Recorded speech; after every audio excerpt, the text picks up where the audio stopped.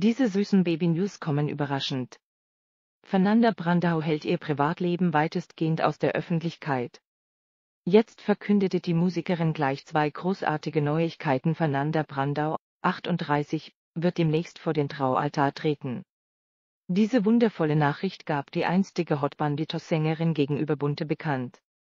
Doch es kommt noch besser, die 38-Jährige erwartet zudem ihr erstes Kind.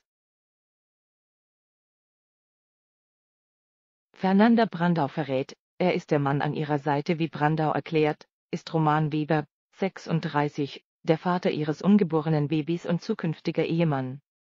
Weber ist der Stiefsohn des im April vergangenen Jahres verstorbenen Menschenrechtsaktivisten Rüdiger Neberg, 84.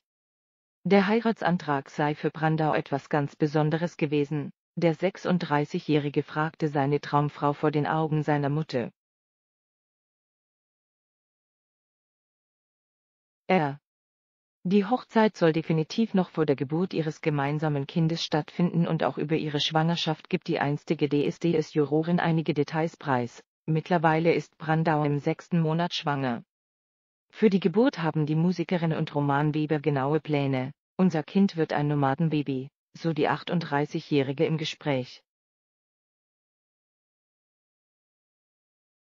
Brandau möchte ihr Kind in Lappland gebären. Das Paar hat offenkundig vor, nach Lappland zu ziehen allerdings nicht dauerhaft. Wie Weber erklärt, wir werden wie Nomaden leben und schauen, wo uns das Leben so hinführt.